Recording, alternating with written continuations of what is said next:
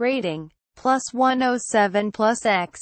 SCP-1363 lesions on subject in stage 1 infection. Item hash. SCP-1363. Object class. Euclid. Special containment procedures. A 5 ml vial containing a sample of SCP-1363 is kept in refrigerated biological storage at Bioresearch Site 101. Level 3 biohazard protocols are to be observed whenever research is performed on SCP-1363. Personnel who begin to exhibit symptoms of SCP-1363 infection are to submit to blood testing. In the event of a breach, BRS-101 is to enter a lockdown, and infected individuals are to be quarantined under Level 3 biohazard protocols. Personnel who recover are to be released one, one week after symptoms cease. Remains of personnel who expire are to be incinerated.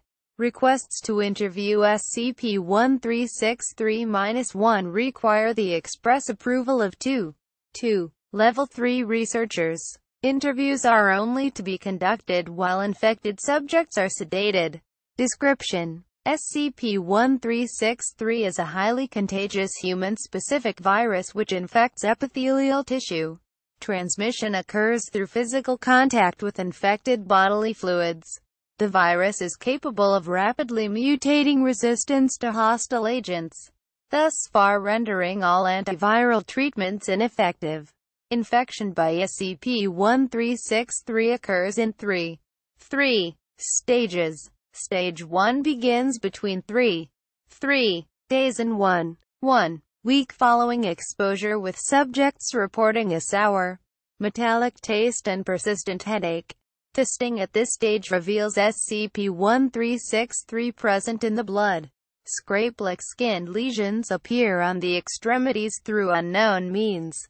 This effect is reported to be painless, albeit unnerving. Stage 2 occurs between 2 2, and 3. 3 weeks following exposure with subjects developing severe and widespread arthritis, as well as anemia and a progressive suppression of the immune system, which is fatal in approximately 7% of cases.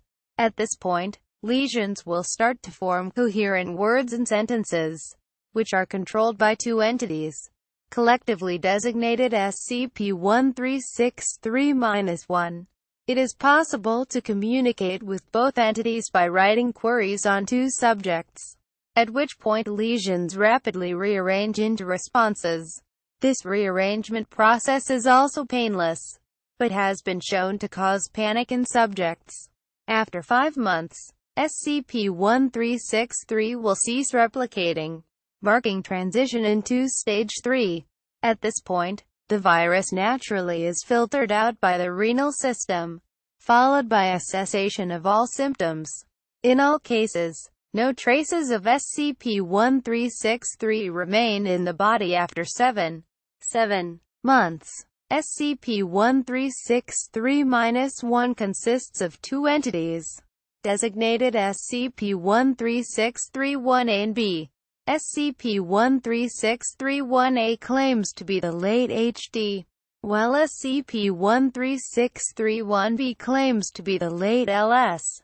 Both instances of SCP-1363-1 appear to be unaware of their nature, but nonetheless are very amicable in personality, have demonstrated in-depth knowledge of 1940s-era nuclear physics, and appear to enjoy interaction. Interviews with the subjects have been very informative, and both entities are extremely willing to divulge personal information.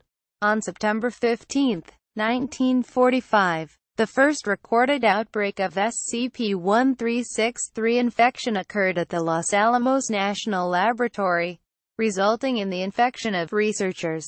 However, it wasn't until an additional outbreak on May 30, 1946, of further infections and deaths that a quarantine was put into place and the virus was discovered. As of 197, SCP-1363 is contained in BRS-101 and is classified as Euclid. Addendum 1 Interview log 1363-1B3. Interviewer. Dr.